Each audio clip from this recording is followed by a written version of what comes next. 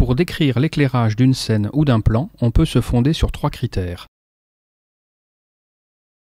Un éclairage peut être plus ou moins intense, ce qui modifie l'apparence des sujets filmés.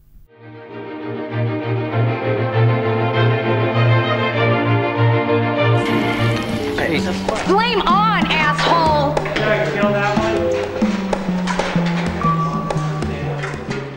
L'atmosphère d'une scène varie avec sa luminosité. La séquence d'ouverture de la règle du jeu joue sur l'opposition entre la semi-obscurité dans laquelle sont plongés les personnages masculins et la clarté éblouissante qui baigne la chambre de Christine. Bientôt deux ans, madame. Ah, c'est vrai. Le temps passe. Le contraste entre les zones les plus éclairées et les zones moins éclairées peut également varier.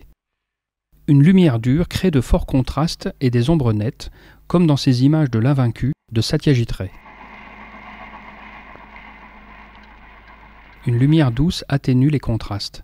Les ombres deviennent relativement transparentes, comme dans ces images tirées du même film. Dans cette scène de l'impératrice rouge de Sternberg, les deux personnages qui se font face ne sont pas éclairés de la même façon. Une lumière douce sublime la beauté de Dietrich. Une lumière dure dessine des ombres opaques sur le visage viril de son partenaire. Chaque direction d'éclairage produit des effets spécifiques.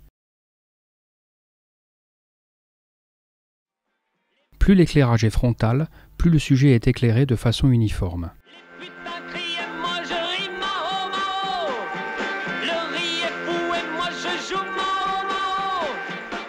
A l'inverse, un éclairage latéral crée des zones d'ombre et souligne les reliefs. Et parce que je lisais à l'envers, j'ai cru bêtement qu'il fallait inverser. Et que 23, ça faisait 32. J'étais à la chambre 32. Alors, t'as tué le type du 32 L'éclairage par en dessous, qui déforme les traits, est souvent utilisé pour produire une impression étrange ou effrayante, comme ici dans La Maison du Diable de Robert Wise. Dans Delicatessen, Jean-Pierre Jeunet s'amuse à parodier cet effet.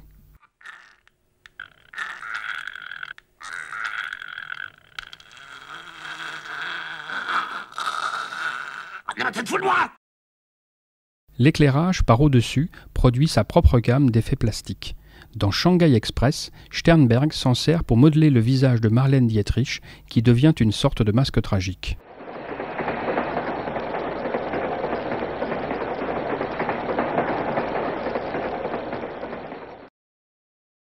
L'éclairage par derrière permet de détacher les figures du fond et de souligner leurs contours. Pour cette raison, on l'appelle aussi un décrochage. Ici, cet éclairage est visible en particulier sur les cheveux et les épaules des personnages. Lorsque les figures se découpent en noir sur un arrière-plan lumineux, on a un effet de silhouettage, c'est-à-dire ce que l'on appelle couramment un contre-jour. Voici le même visage, éclairé depuis six directions d'éclairage distinctes. Éclairage frontal, éclairage latéral droit,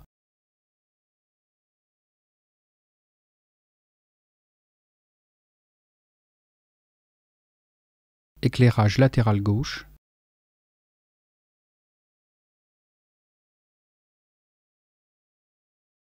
éclairage par en dessous, éclairage par au-dessus, éclairage par derrière,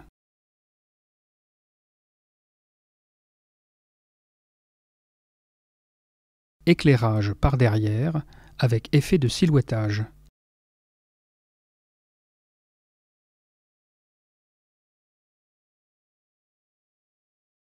La lumière joue donc un rôle déterminant dans la perception de la profondeur, que ce soit en détachant les silhouettes du fond ou en modelant le relief des figures. Dans ce plan du mépris, les variations d'intensité lumineuse détachent les uns des autres les trois plans sur lesquels s'étage la composition.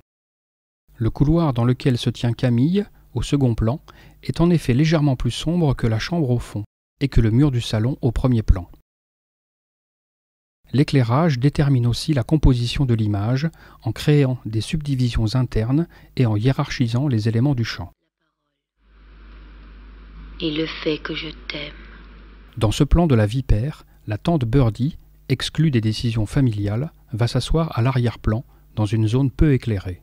Elle se fond presque dans les tons gris de la tapisserie, alors que Regina, assise au centre, est inondée de lumière. Les effets peuvent être plus marqués encore. Dans cette scène de la nuit du chasseur, le faux pasteur s'apprête à poignarder son épouse, qui accepte sa mort comme un sacrifice. Le décor et l'éclairage dessinent partout des angles aigus qui évoquent aussi bien l'architecture d'une église que la lame du poignard. C'est la forme du toit de la mansarde, soulignée par l'obscurité qui l'environne. C'est aussi celle de la tête du lit qui, à l'inverse, sort de l'ombre grâce à un halo lumineux. Enfin, c'est celle du triangle lumineux qui se dessine sur le drap autour du buste de la jeune femme, à l'intérieur d'un cercle de lumière moins vive qui pourrait évoquer une auréole.